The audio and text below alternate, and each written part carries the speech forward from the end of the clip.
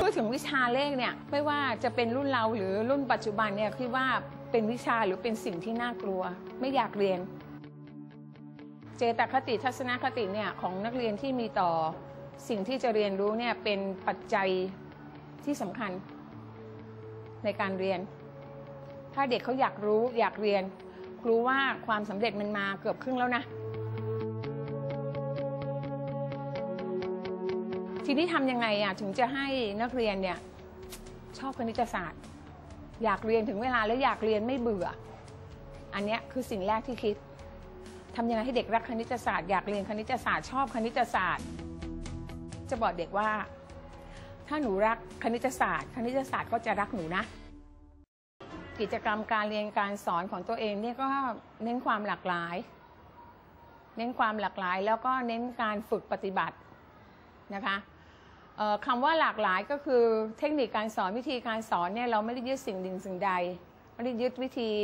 หรือทฤษฎีของใครคนใดคนหนึ่งมาใช้สอน เพราะคิดว่ามันไม่มีวิธีการใดหรอกที่จะใช้สอนได้ทุกเรื่อง ทุกระดับชั้นตลอดระยะเวลาแล้วนำไปสู่ความเป็นเลิศหรือนำไปสู่ความสำเร็จ มันจะต้องเรื่องนี้ควรใช้เทคนิคอันนี้ เรื่องนี้ควรเอากิจกรรมตัวนี้มาใช้ ก็พยายามจะเลือกให้มันเหมาะสมกับเนื้อหา สาระการเรียนรู้ เหมาะสมกับวัยของนักเรียน เหมาะสมกับการเวลาที่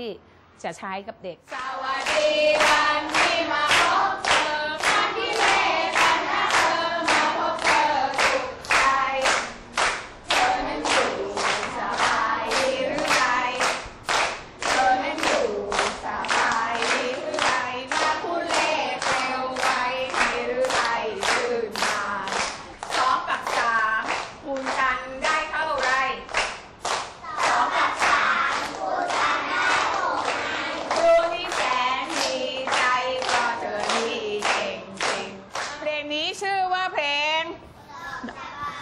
ดอกชะบาร้องตามครูก่อนนะทีละหนึ่งวรรคโอ้เจ้าดอกชะบาครูก็อาศัยเพลงสั้นๆ ง่าย ๆทำนองที่เด็กคุ้นเคย เอามาแปลงพยายามที่จะหาเนื้อที่ใส่ตัวเลขเชิงคณิตศาสตร์เข้าไปในเนื้อเพลง โดยอาศัยทำนองเพลงเดิมไม่ยาวนัก ร้องแล้วติดตาติดหู เน้นความสนุกครูก็จะดัดแปลงเนื้อเพลงจากเพลงที่มีอยู่ทำนองเพลงเดิม เพลงนี้ หาเลขเจอยังตัวเลข มีเลขอะไรบ้างแปดกับเก้าแปดนี้คือแปดต้น มีเลขอะไรอีกลูกเก้าอะไรโอ้เจอแล้วเลขเจอเลขเรื่องของอะไรเนี่ย เพลงนี้เรื่องของอะไร เรื่องของอะไรคะ เรื่องของ แต่งยังไงดีอะโจทย์ การสอนคณิตศาสตร์โดยใช้เพลงนี่ครูจะเน้นตอนเรื่องของโจทย์ปัญหา เพราะโจทย์ปัญหาเนี่ยจะมีปัญหามากมันปัญหาจริง ๆ เจ้าปัญหาเลยนะคะ มันเจ้าปัญหาสมชื่อเลยก็